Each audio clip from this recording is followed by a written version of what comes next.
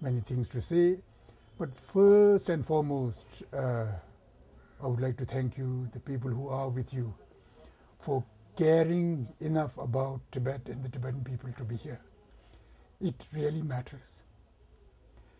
And to the people of the world, whoever will see your documentary, there is one very important fact that I have tried throughout my adult life to convey to other people that the struggle for freedom, first and foremost, is about right and wrong.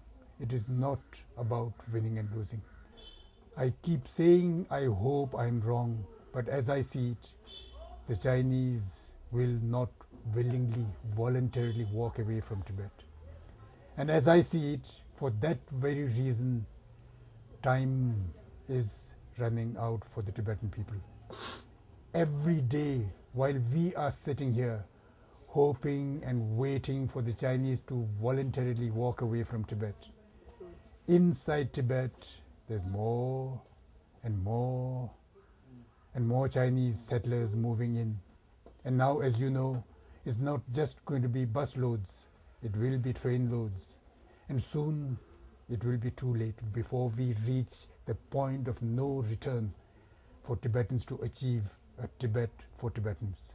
And to that extent, it is not only that time is running out for Tibetans to regain our lost freedom, to regain a homeland for ourselves, to regain what is our birthright. It is also running out for the people of India. I have, whenever I meet Indian friends, I try to tell them that today, as I see it, India has more at stake in Tibet's future than Tibetans. Although we are the younger of the two brothers, yet today Tibet is on the point of death. India will not, cannot disappear like Tibet. And I cannot see it as being in India's interest, the interest of the people of India to have a cancerous wound stretching 2,500 kilometers from Pakistan to Burma, forever bleeding into your economy. One third of India's defense budget is on the northern frontiers with Tibet. When Tibet was free, what did you need? The other third of India's defense budget is in the Kashmir Valley. But that also largely because China is aiding and abetting Pakistan's militarism. It is a truth which nobody has the courage to admit. People in power in the West know this, but China is behind Pakistan's nuclear program and China is also behind North Korea's nuclear program. Otherwise, where would they have the confidence to say, oh, if necessary, we could pick up the phone and tell the North Koreans to change their minds? Who are the Chinese? So, to that extent, Tibet is not just about Tibetans, it is about peace between India and China. To the extent that it is not, it cannot be in anybody's interest to have India and China together more than one third of humanity to be forever locked in this unwinnable arms race. However, today politicians around the world, and I'm sorry to say, in the, even in the so-called free democracies, are so busy staring at their popularity charts. It seems nobody has the time to take a good look at a good map, because then anybody with the minimum of intelligence will see that Tibet is about the roof of the world, that it is about the source of all the major rivers of Asia. And we have been hearing the Chinese themselves say this that China is dumping chemical and nuclear waste. This is not something that I'm making up.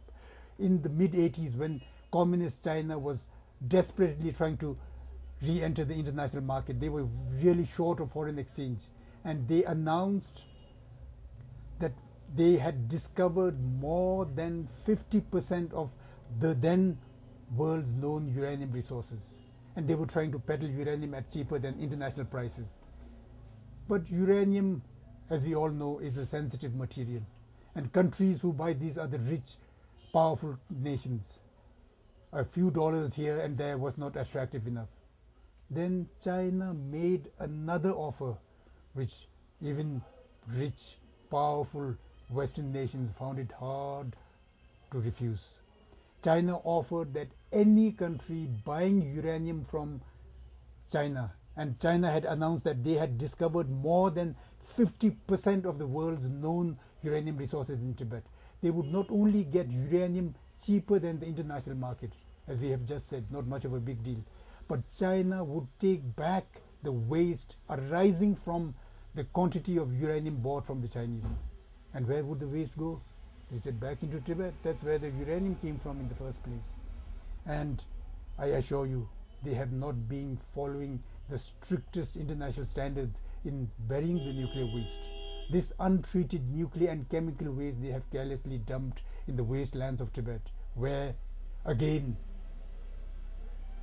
the fear is that Tibet is still seismologically active. God forbid. I hope I'm wrong. But if one major earthquake should result in any of these major rivers flowing from Tibet being contaminated with the untreated nuclear and chemical waste, the consequences are too terrible to contemplate. And then finally, there is one other most important development. Just recently, China boastfully announced that they would dam and divert the Brahmaputra. But more than that, what they have completed is the construction of the so-called Three Gorges Dam, where now that the construction is completed, the reservoir will start filling up. When the reservoir has completely filled up, it will create the biggest artificial inland sea. But this huge body of water, in combination with the dozens of other dams they have in that area, and more so because of the rampant deforestation, the reckless mining, and also now in combination with the global warming up. All of these factors may contribute to the temperature of the Tibetan plateau being altered enough to affect the timely flow of the monsoon winds.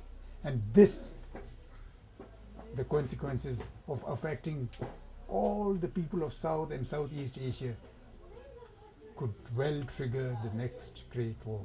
So, to that extent, once again, Tibet is about the truth of the world. Tibet is not just about Tibetans. People who care about truth and justice, people who are on the side of weak against the strong, the few against the many, somehow, somebody, somewhere must find the courage to support the struggle of the Tibetan people to regain our homeland for the sake of world peace, for the sake of truth and justice. Thank you.